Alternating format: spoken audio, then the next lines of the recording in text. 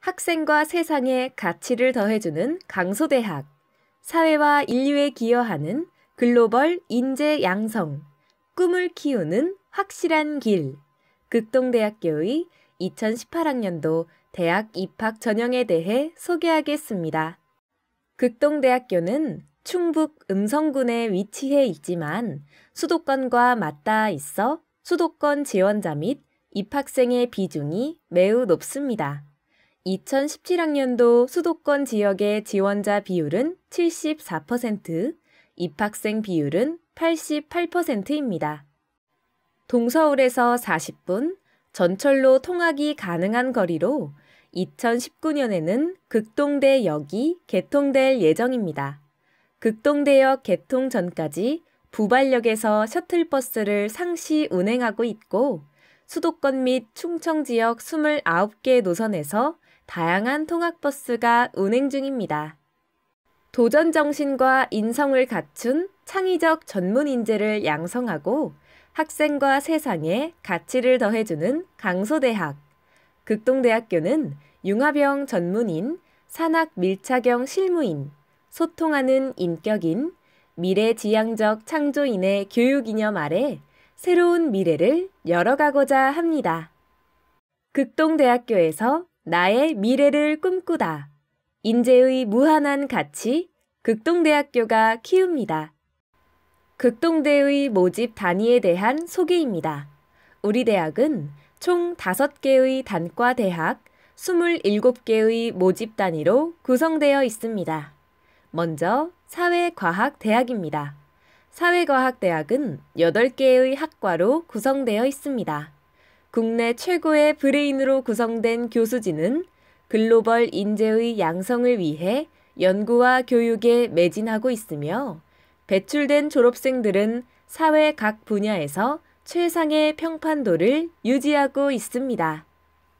항공대학은 4개의 학과로 이론과 실무를 겸비한 우수한 항공인력을 양성합니다.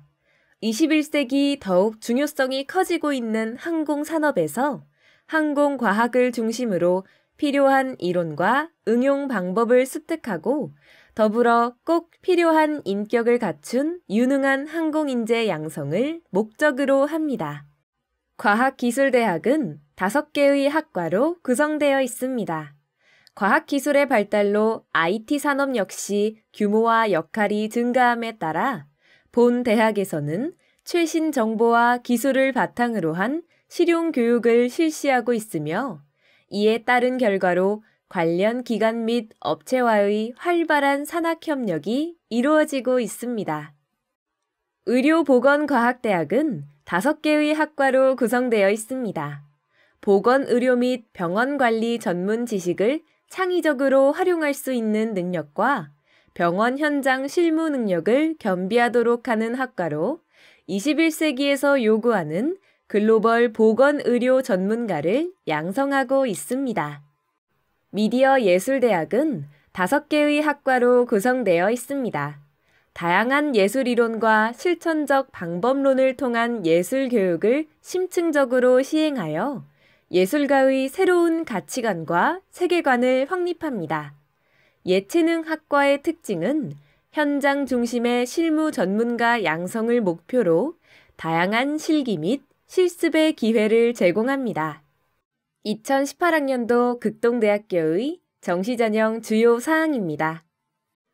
정시 모집은 다군 4개 모집 단위에서 총 55명의 신입생을 선발합니다.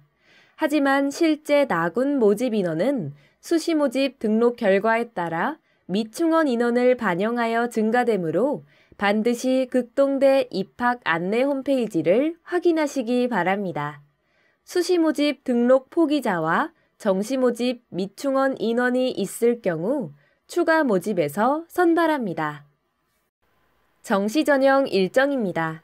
입학 원서는 18년 1월 6일부터 1월 9일까지 4일간 인터넷과 창구로 접수를 받습니다.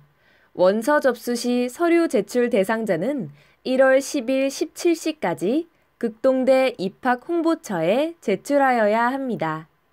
면접고사는 1월 24일 1일간 이루어지고 실기고사는 1월 29일부터 30일까지 이루어집니다.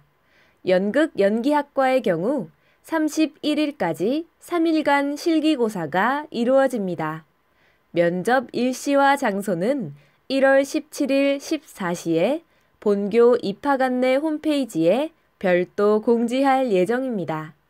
정시 모집 최종 합격자 발표는 2월 6일입니다. 전형 요소별 반영 비율입니다.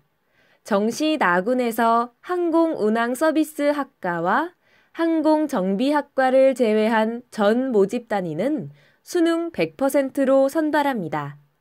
항공운항 서비스 학과와 항공정비학과는 수능 60%, 면접 40%로 선발합니다. 다군에서 수능 40%, 실기 60%로 선발합니다. 정시 모집 수능 점수는 100분위를 적용하며 영역별 반영 비율은 국어, 수학, 영어 중 상위 2개 영역 각 35%씩 70%, 탐구 영역 중 상위 2개 과목 평균 100분위 점수 30%입니다. 수학 가형을 응시한 경우 가산점 10%가 부여됩니다. 2018학년도 정시 모집부터는 수능 영어 절대평가가 도입되므로 수능 영어 등급에 따라 점수가 부여되고 한국사 과목 필수 지정으로 인해 성적을 반영하지는 않지만 반드시 응시해야 지원이 가능합니다. 정시 나군에서 항공운항 서비스 학과와 항공정비학과를 제외한 전 모집 단위는 수능 100%로 선발합니다. 항공운항 서비스 학과와 항공정비학과는 수능 60%, 면접 40%로 선발합니다. 2017학년도 정시 나군 일반 전형 경쟁률입니다.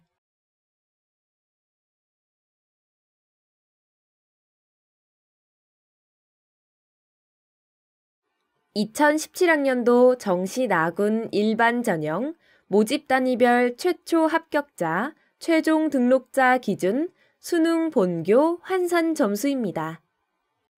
정시 다군의 전 모집 단위는 수능 40%, 실기 60%로 선발합니다. 모집 인원은 55명이지만 수시 모집 결과에 따라 모집 인원이 증가할 수 있습니다. 자세한 인원은 정시 모집 원서 접수 시 입학 안내 홈페이지를 확인 바랍니다. 2017학년도 정시 다군 일반 전형 경쟁률입니다. 2017학년도 정시 다군 일반 전형 모집 단위별 최초 합격자, 최종 등록자 기준 수능 본교 환산 점수입니다. 정시 나군 농어촌, 특성화고, 기회균형, 특수교육 대상자 전형의 경우 항공운항 서비스학과를 제외한 전 모집 단위는 수능 100%로 선발합니다. 항공운항 서비스학과는 수능 60%, 면접 40%로 선발합니다. 수시에서 미충원된 인원을 모집하며 모집 단위, 지원 자격, 제출 서류는 수시 전형과 동일합니다. 정시 정원의 전형 농어촌 학생입니다. 중고등학교 6년 또는 초중고등학교 12년 농어촌 지역에 소재하는 초중고등학교에서 전 교육과정을 이수한 졸업 또는 졸업 예정자가 해당이 됩니다. 정시 정원의 전형 특성화고입니다.